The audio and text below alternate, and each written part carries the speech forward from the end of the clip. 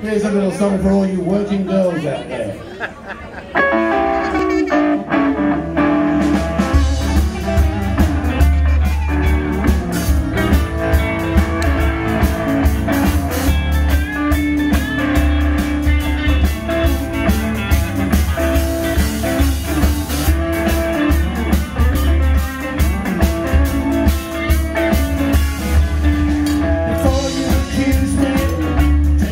Joe said.